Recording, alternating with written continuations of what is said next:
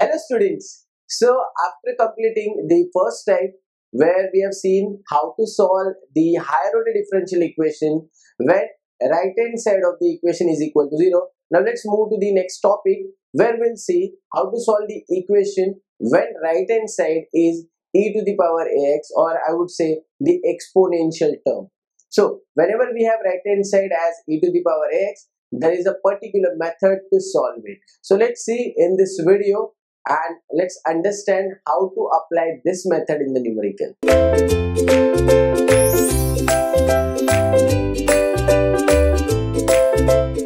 So now guys here we are going to find out the solution of a higher order differential equation or linear differential equation when the right hand side is e to the power x. So for this I have taken an example. So can you see here there is the higher order differential equation with right hand side of the equation as exponential term which is e to the power 2x. So to solve such type of questions we use this method. So first of all what we'll do is we'll list down the steps which are required to solve such type of numericals and then I will apply those steps on this question to get the solution. So what is step number one? So step number one is we have to find out the complementary function. See, in the last video, I've told you that whenever you want to find out the solution of higher order differential equation, that solution is divided into two parts. So one part is called as complementary function and the other part is called as particular integral. So whenever we get any differential equation, that time we'll always start with the complementary function. So we'll find out the complementary function first. So here I'll say find yc because here we are saying that complementary function as yc and the particular integral as yp.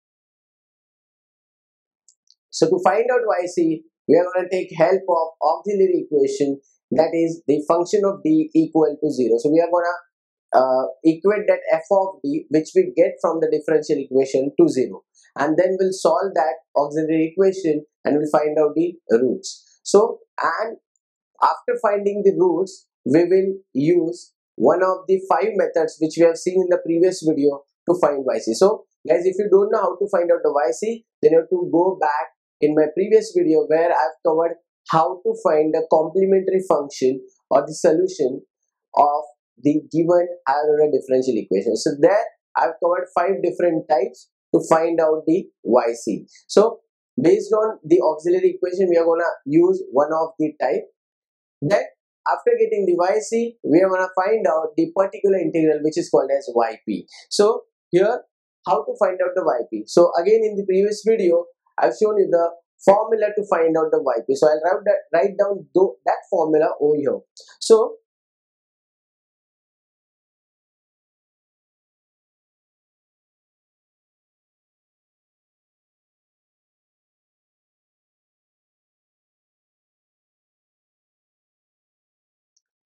So there we have seen the formula to find out a particular integral that is nothing but 1 upon the function of d into the right hand side. Now since we are in a type where right hand side is e to the power ax, I have directly written it as e to the power x. Now the question is how to find out the particular integral. So guys, there is a rule to find out the particular integral in this case. So the rule is like this. We have to substitute d equal to a in f of d or in function of d and then we will get the particular integral. So here the solution would be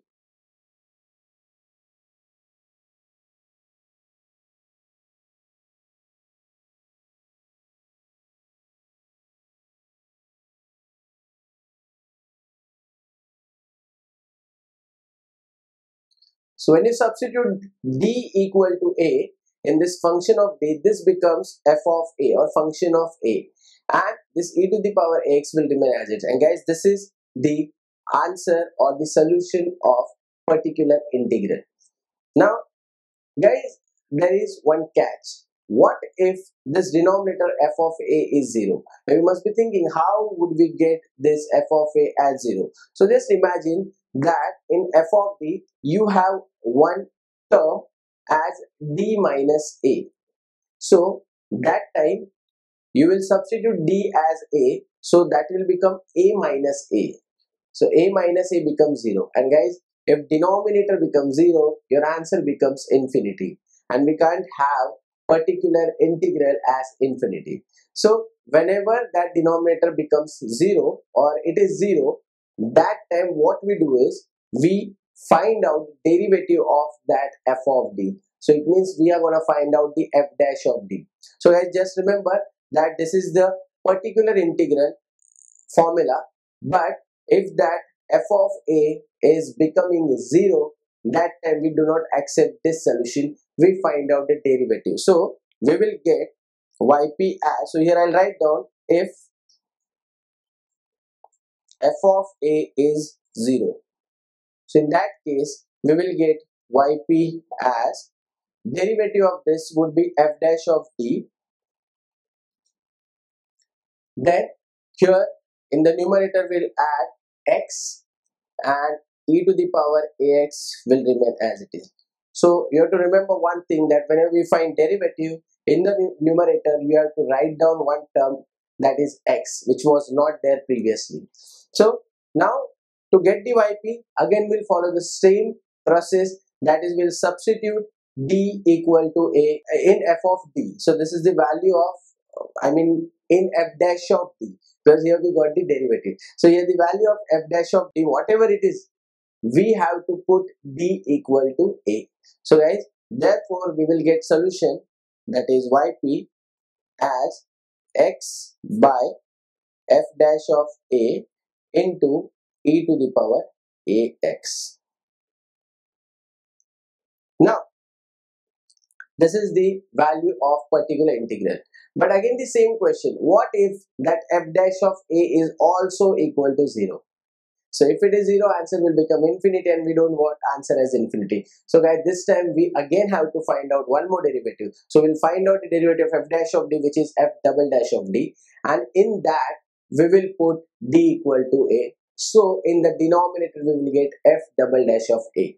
But at the same time what we'll do is here with x we'll write one more x so that will become x square by 2 factors so guys there is one general formula that we follow every time which is nothing but x to the power r upon r factorial so let's say if you are differentiating that f of d two times you will be having x square because here i'll show you the formula it is x to the power r upon r factorial so here I've, I've found the derivative of this f of d for the first time. So as since it was the first derivative, this will become x to the power 1 upon 1 factorial. 1 factorial is 1. That is I'm not written here. And x to the power 1 here I've written. But since I'm finding derivative once again, so that will be the second derivative and that is why I will get x square upon 2 factorial. So now I'll say if f dash of a is equal to 0 then yp is x square by 2 factorial. So this is term which I was talking about into 1 upon f double dash of d. So that is a derivative into e to the power ax. Now in this we'll put d equal to a again the same rule. So we will get value of yp as x square by 2 factorial into 1 upon f double dash of a into e to the power ax. So this is the solution and guys again it goes on if f double dash of a is also 0. So you have to find out the third derivative that time this coefficient would be x cubed by 3 factorial and so on. So uh, most probably in second or third derivative you would get the answer or in few numericals in the first derivative itself you get the answer. So this is the process to find out the value of yp. So guys here we got yc that is the complementary function we got particular integral and now it's time to find out the final solution. So here that is the last step step number 3 we will say the complete solution y is equal to yc plus yp. So whatever is the value of yc and yp that we got in the previous step, we are gonna copy down those values and we are gonna put those values here to get the final solution. So this is a process to solve the higher order differential equation whenever right hand side is exponential function. So I'm sure that you understood this video and guys if you want to learn more videos on engineering mathematics then you have to subscribe to ekeeda.com because that is the only way to get updates about the latest video that we are posting on ekeeda.com and do not forget to share this video with your engineering friends because if they watch this video then they can also get good score like you. So i hope that you'll watch next video because in the next video i'm gonna uh, solve the numerical which is based on this concept thank you very much